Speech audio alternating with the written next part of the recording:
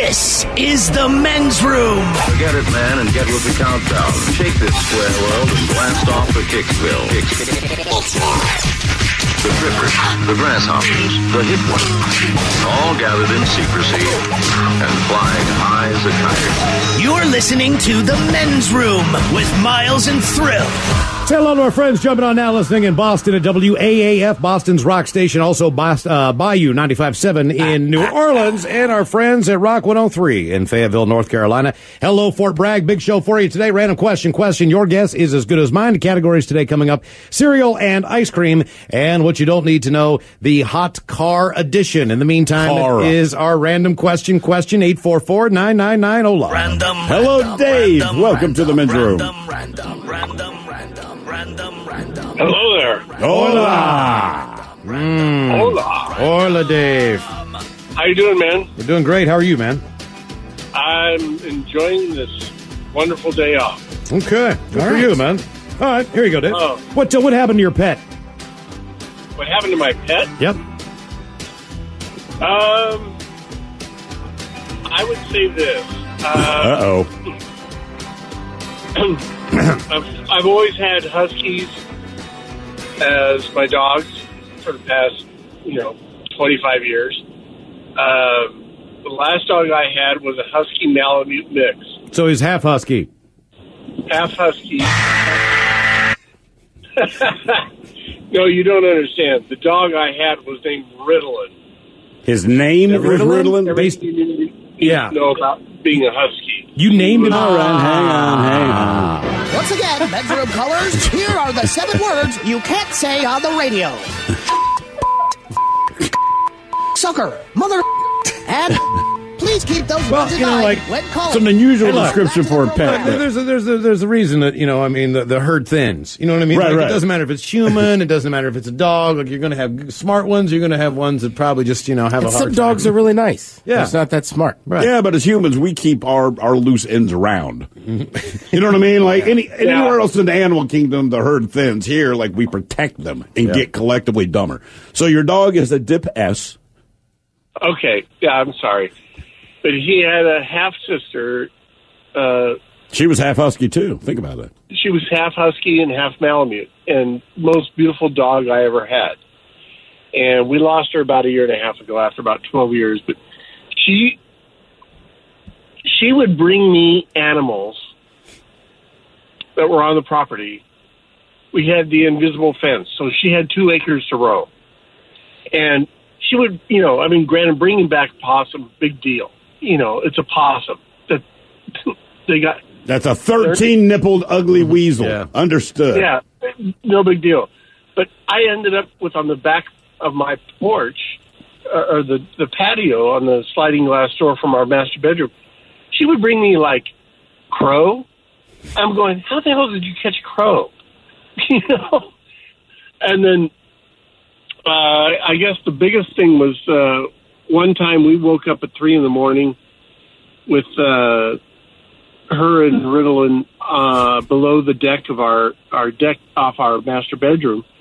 They had cornered a like forty five pound raccoon, and they were just getting their ass kicked. I mean, they didn't understand that a raccoon is going to beat your ass. Right. So I had to get them in the house. I finally got them in the house, and um, you know the, the raccoon eventually went away. We got medical treatment for them and all that stuff. And then about a, a week later, she caught a possum, but she brought it to the back porch, and this thing was a skull and a spine. She ah. opened up a can of whoop ass as payback on this whole thing on this possum, and it was like, oh my god. You think the possum made Mm-hmm. fun of your dogs when they're getting their ass kicked by the raccoon? No, I think Maggie was waiting for the opportunity to just vent out all the emotion she had. Yeah. You say It from was- this raccoon beating, the dog had spent a week just pent up aggression, and this possum happened to be the victim. Yeah, exactly. Okay. All right. Uh, but she was no, she was a beautiful dog, and, and then what I understand, which later on, we did some research on Malamutes. We found out that they were raised to be babysitters of the Inuit tribes up north in Alaska. And she was that way. She was just, to humans, she was, she was the most loving dog I've ever had. Hmm. But if you were an animal coming on our property, she was going to cap That's, your uh, ass. all right, that's, that's Okay, It's good to know. I guess I can live Yeah, with that. I mean, yeah. when my dog was alive, there's a one possum that lives in my yard, and I don't care because it only comes out at night. But I would take the dog out so she could drop a deuce or whatever.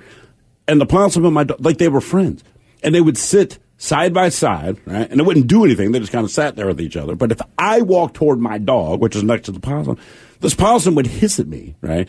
Doing what possums do. But my dog had no reaction. I'm like, hey man, you know, you might be buddies with the possum, but I bet he does not feed you. He does not take you out. He does not offer you water. He does not rub your belly. Like, what the hell?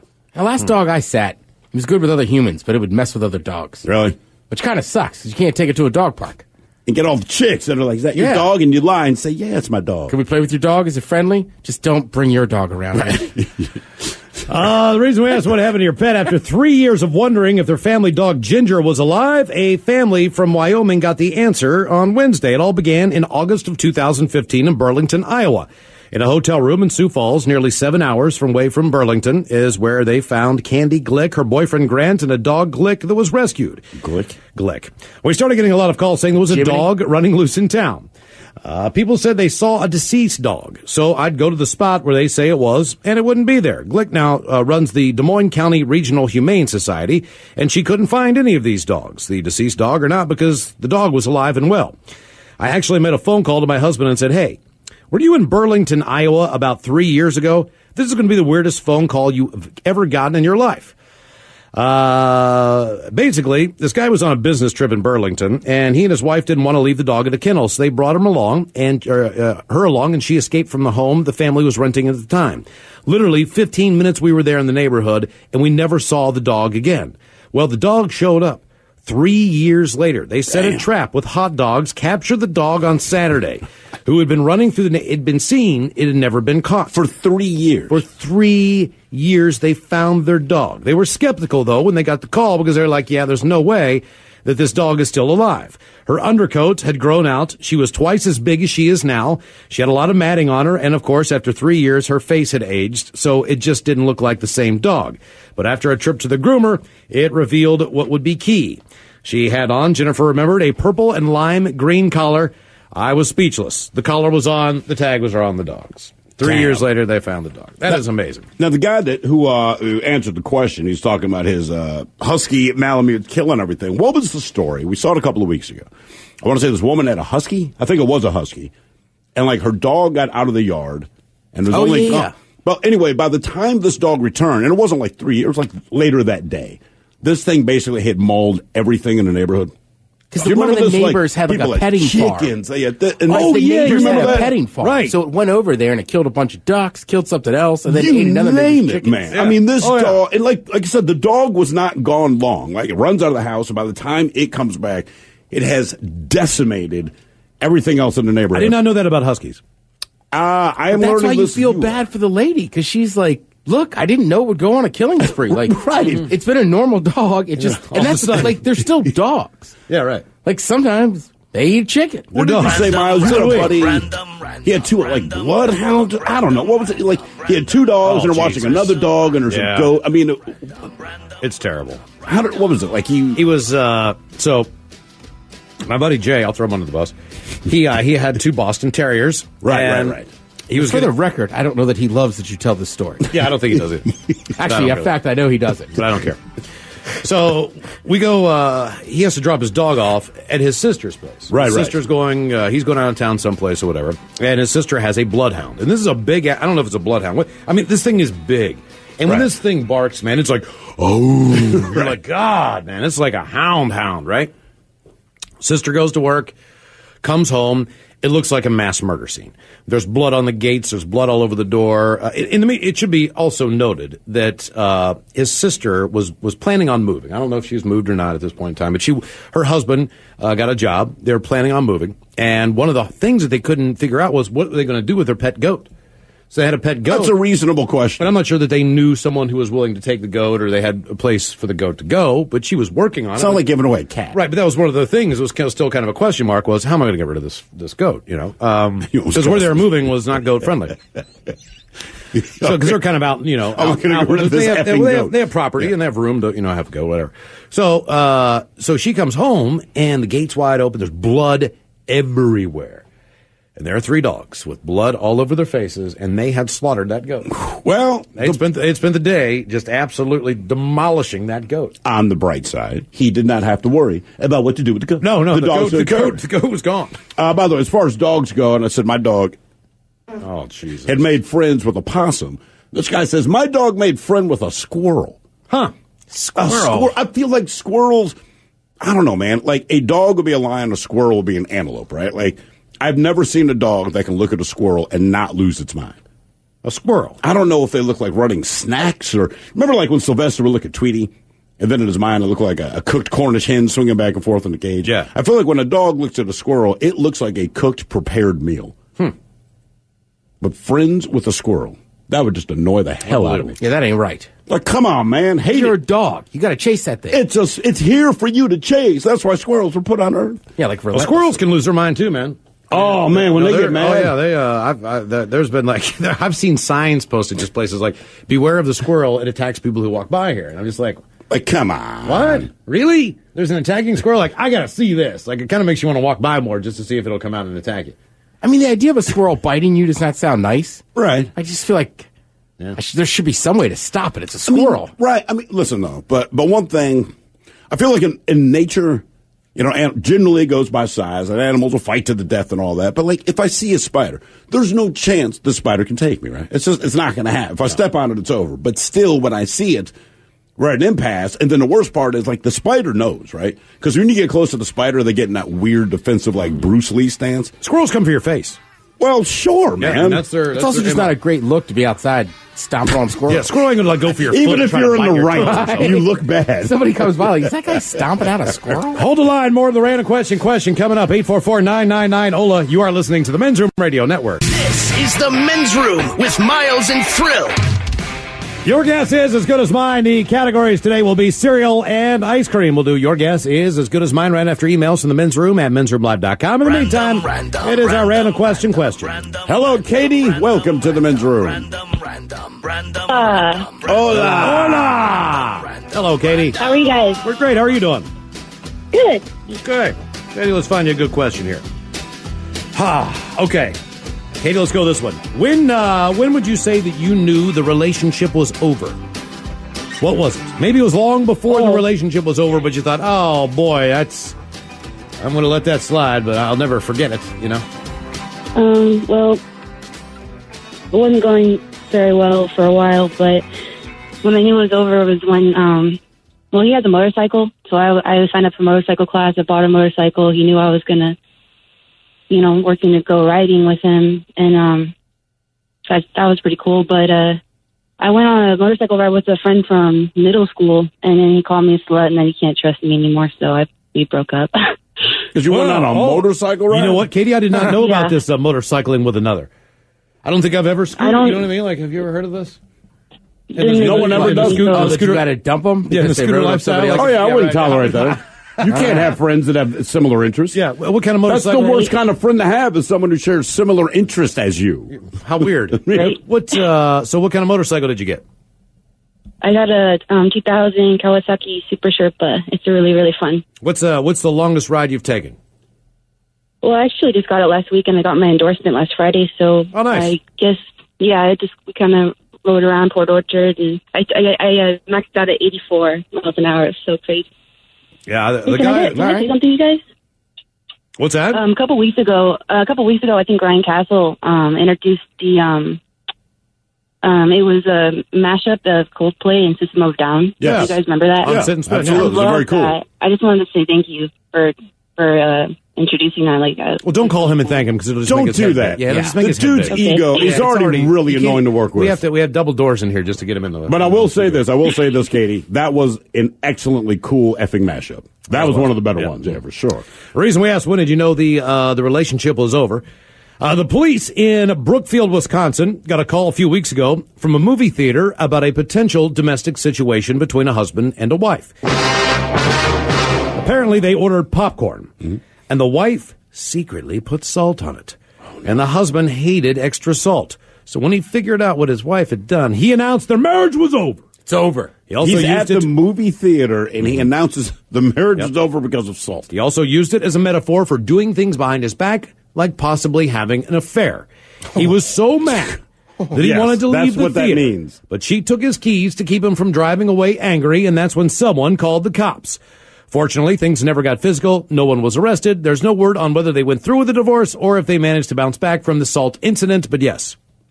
I, I would say that, and I don't know much about the situation. I do not believe that someone adding salt to popcorn is an indication of infidelity, as salt and popcorn typically go hand in hand. Yeah. And I understand he might not like it, but I feel like maybe after he made the proclamation, if she really absorbs everything that went down and his reasoning behind it, and how he connects the dots, she should probably agree to that divorce. Yeah, well, or this is just like the final thing. Yeah. Could be. It Like, might they be. Obviously, already had a cover. You can't be like, you put salt on there, you're a cheater. You got any particular things about your popcorn? Anything crazy? Popcorn? No, I just man. don't. You want to know a pro tip? I don't go to the movies enough, honestly, to have any theory on popcorn. Here's my pro tip. The more they got, just put it on there. When you get to when you get the popcorn, you go, hey, just say you go put it in a straw. No, you go, hey kid, uh, do me a favor.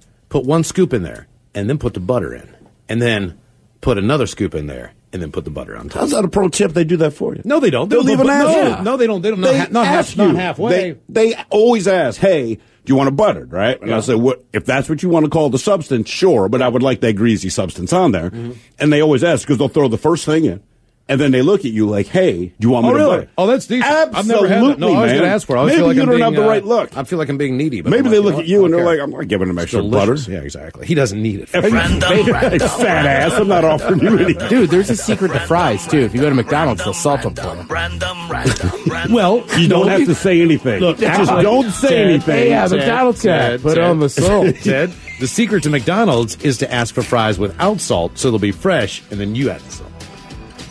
See, that's too much work, man. Trust me, man. I'm telling you, that's that, that's a Do you need fresh 'Cause they'll- fries? No, no, they'll cook them right there. Because normally all their fries are. But are they're salted. still hot. You just gotta wait a little bit. But they're already hot. Yeah, they- I mean, they're I mean, under a we're, heat we're talking about like fresh, like they're just yours. But they know how to salt their French fries. They do. Are you That's turning into saying. fast food foodie? Yes, Gotta have it the freshest it is. Like, dude, it's McDonald's. The fries are always Yeah, hot. exactly. Right. the fast food. God, I had a good de- a bacon double cheeseburger. that should be like your cooking show. Not cooking show, but like you're traveling around. The fast foodie. That's right. No matter where you go. Hey, We're man. at Carl's Jr. in Wichita, Kansas. I'm standing outside talking to the manager, Ronnie. Guess for the manager special. Believe now they give you two patties.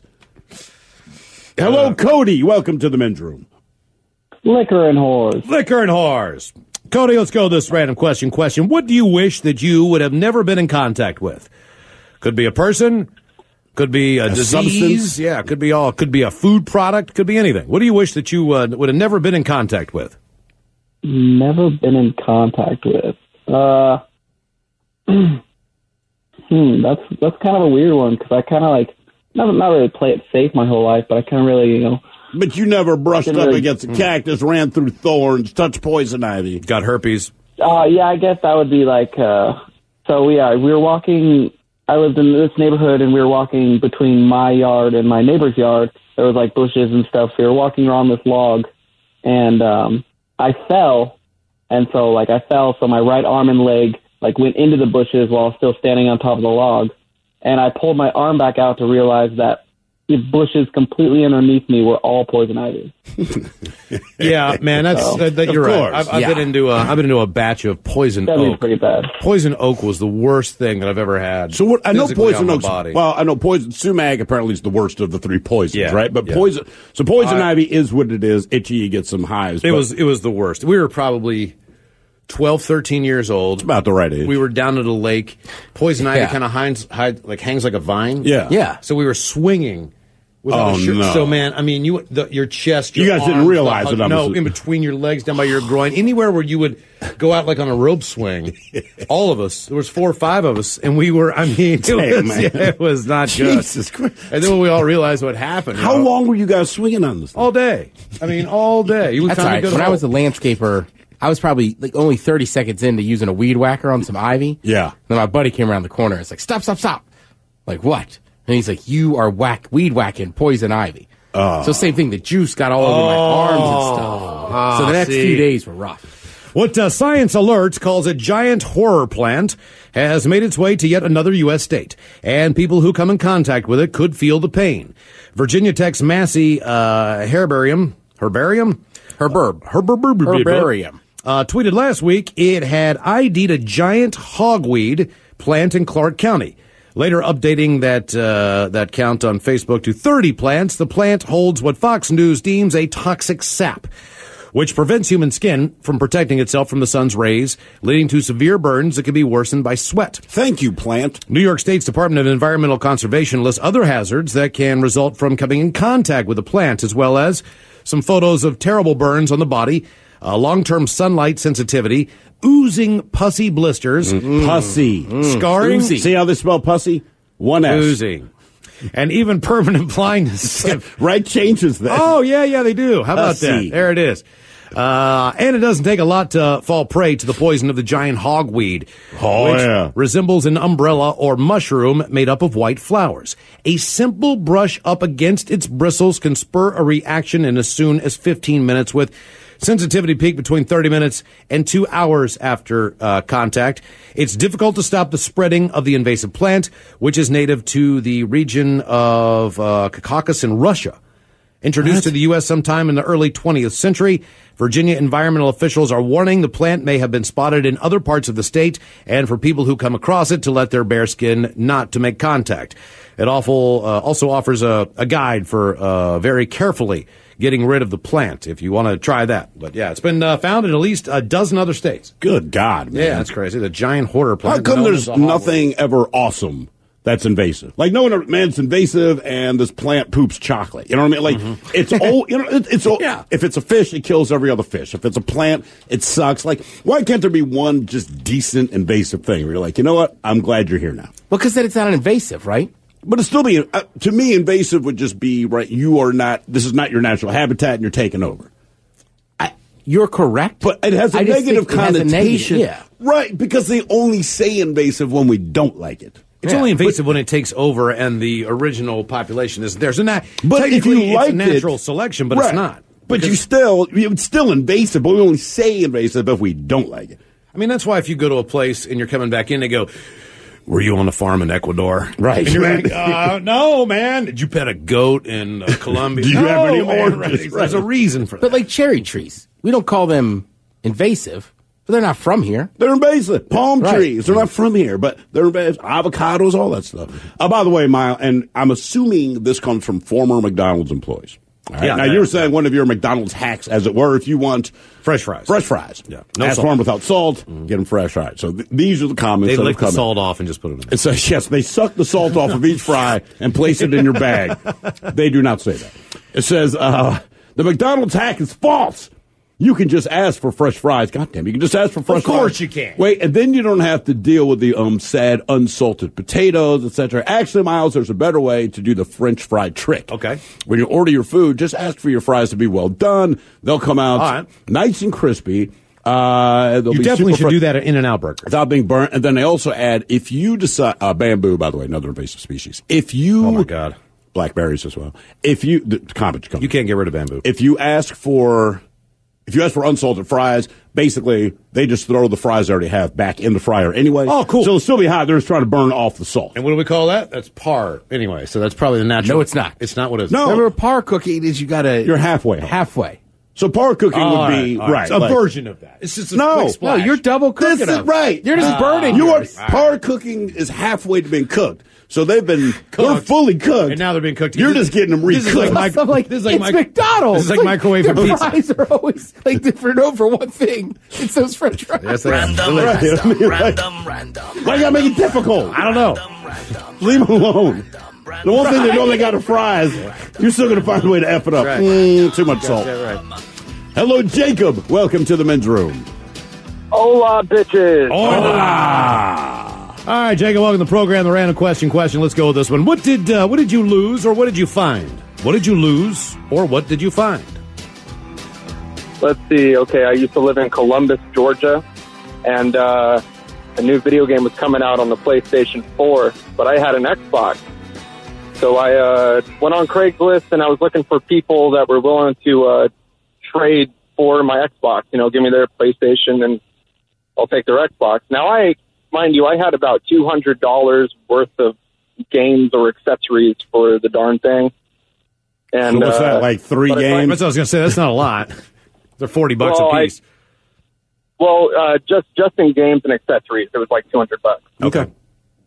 Um, so I find this guy who had a PlayStation, and uh, we we sent each other videos of the consoles working and whatnot, just so that we knew we weren't, you know, trying to mess with each other.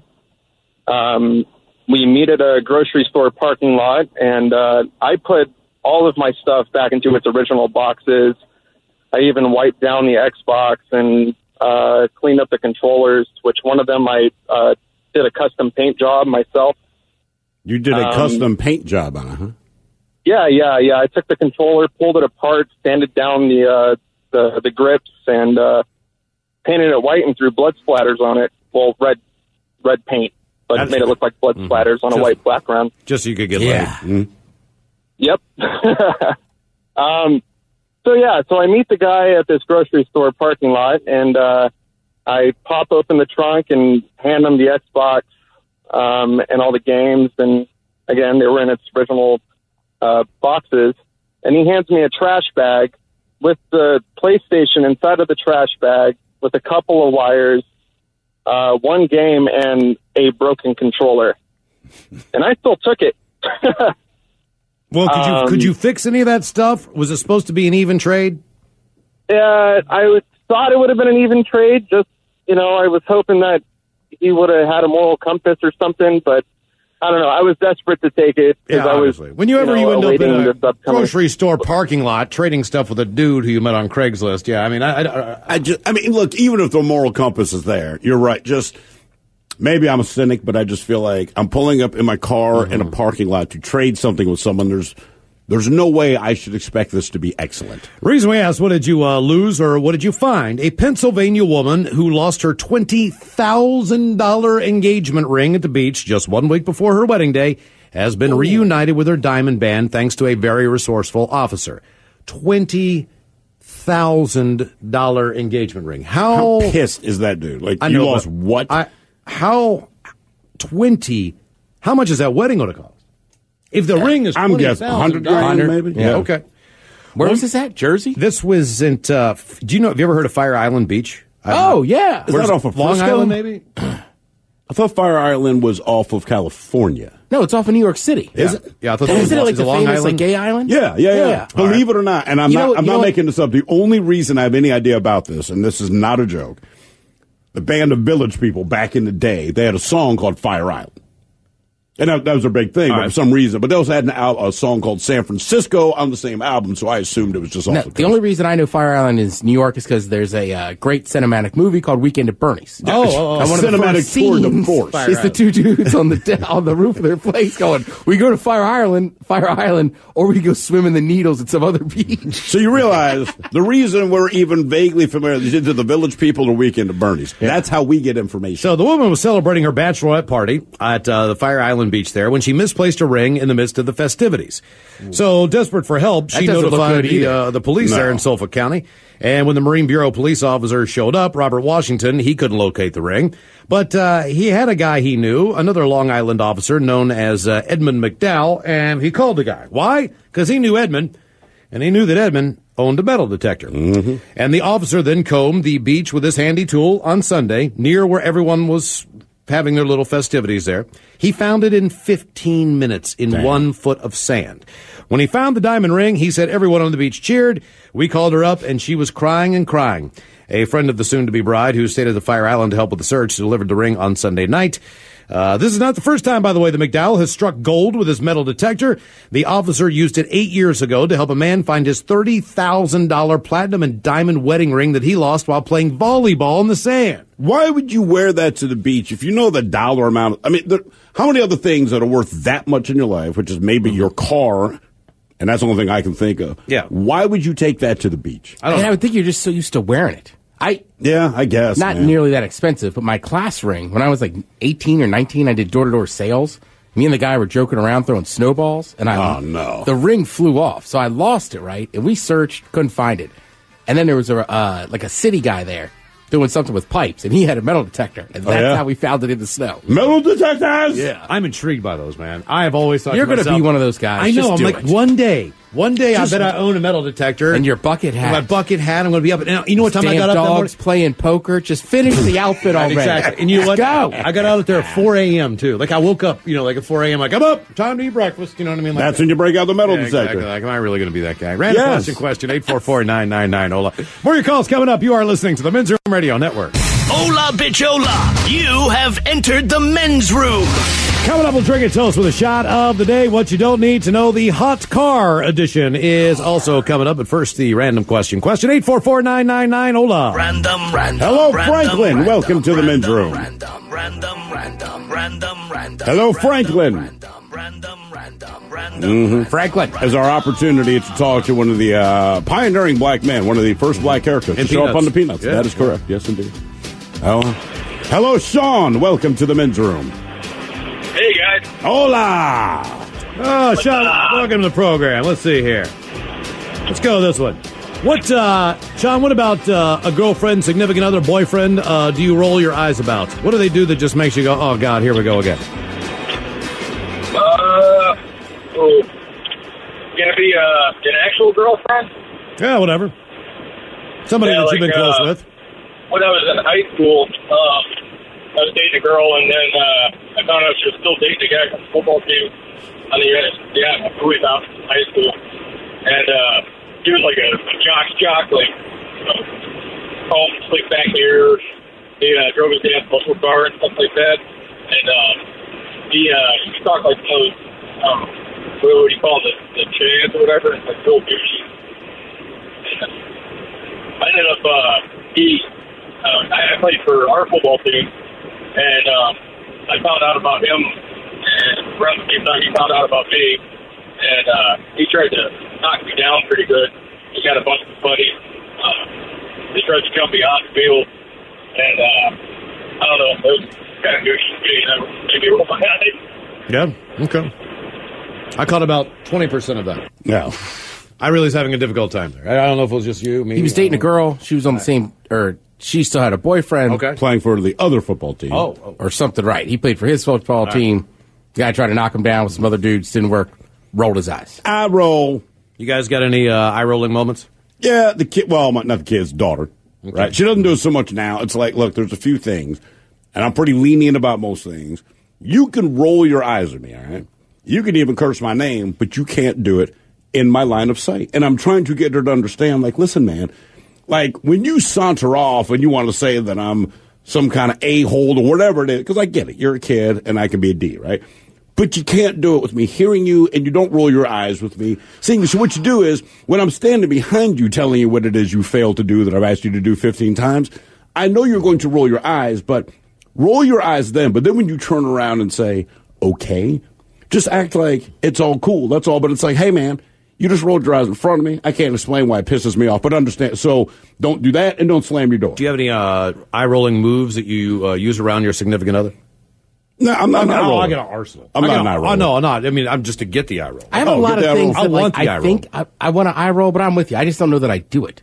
You know, like, uh, And if I do, I have no idea. And I realize that my Oh, daughter I'm trying to do doesn't right know Like, yeah, she you- does it, and that's the problem. So you're like, I know you don't know you're doing it, but understand it pisses me off. So try to be aware that you're doing it. so okay, Children seem better at it. you're at a restaurant, right? Oh yeah, because they mean it. You eat you eat everything on your plate, Mm-hmm. and then when the waiter or the waitress comes, you go, "It's terrible." And I can look over and everybody's just, oh god, Right. I always go. Oh, everyone, they're I like, don't care. We hate that. Shit. I know. That's the eye roller right there. Reason we asked, what about your significant, uh, significant other uh, do you roll your eyes about? Uh, a North Carolina man won't be rolling his eyes at his wife for uh, wanting a lottery ticket. As Darren Nunnery of Linden headed to the store Monday night, his wife called out, Give me a Lucky for Life ticket, according to a North Carolina Education Lottery news release. Nunnery rolled his eyes as usual when his wife wants to play the lottery, but he did come home with a $2 ticket for that night's drawing. Nunnery then got a call from his wife Tuesday morning, and see, she said, uh, "Do you feel lucky?" He asked what she meant. She informed him that they'd won the Lucky for Life, twenty-five thousand dollars a year. As the family claimed their prize on Tuesday, Nunnery told his wife, "The rolling my eyes is over." And they did say that the good luck is a blessing, uh, pales uh, to the blessing uh, he'd had over the last four years as he recovered from a uh, a brain aneurysm. But some of that money will help pay for those bills. The former maintenance contractor at Fort Bragg remains disabled, but he says uh, doctors tell him he's just lucky to be alive. I get to see my grandchildren, my wife, my kids. Uh, Nunnery said some things needed to be done with their home and his family, so they took the lump sum of three hundred and ninety thousand dollars. Would you take the three hundred and ninety thousand dollars? I guess it depends on how old you are, where you are. Yeah, the it stage the depends on age, right? Uh, what was the other option? Twenty-five 25 grand a year. Because it just supplements your income, right? You're not going to live on I 25 mean, at this but- point, I'd probably take twenty five grand a year. Okay, hold on. Sure. After federal and state withholding, he took home two hundred and seventy-four thousand dollars. I'll do the 25 a year. He says he plans to pay off the mortgage, do some home improvement projects, take care of some bills, and he plans to give some money to loved ones and to his uh, church. Well, it There you depends though too. If you just take that lump sum like that, like you go buy a house, You got it. I mean, you can pay you it put a down something. payment on a house. Yes. Yeah. Random question. Question eight four four nine nine nine. Hold on. Random, random. Hello, Adam. random, Welcome to the men's room. Random, random, random, random, random. Hello, Adam. Hola, bicholas. Hola. Oh, Adam, we're good. How are you, man? I'm doing great, man. Just got off work. Just got done smoking a doob. Chilling. All right. Let's go with this one here, man. Have you uh, have you ever got into it with a family member, brother, sister, Oh man. cousin? Um. So I come from a family. I'm the third oldest of eight siblings. Damn. So me and my oh, wait, oldest hold on. brother. I bet I bet you eat real fast, don't you? Oh hell yeah. Yeah, it's a, I, anybody that I know, man, has like more than four uh, brothers and sisters. They eat so fast. Yeah, man. you have to. Got to fight for that food. If you don't eat fast enough, you don't get seconds. That's it. But yeah, um, definitely. My oldest brother, um, I'm 23. He's 27. Me and him have gotten into many altercations. Uh, I remember this one time I was 16. Um, I don't even remember what the fight was about. I guess he thought I stole something from him. But anyway, I'm just sitting there enjoying my dinner, and this guy comes out of nowhere with a plate and just smashes it over my head. Damn. How old were you at the Yeah. time? I was 16. All right, brother with a Yeah. plate to the head, huh? Yeah. Not not like any old plastic flimsy plate. It was a stoneware plate. Oh man, Getting it. Yeah. did he knock you out?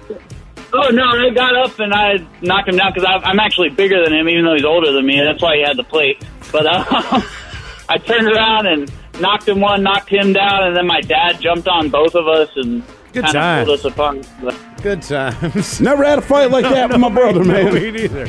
It's a little much. Hola! The shenanigans continue on the Men's Room Radio Network.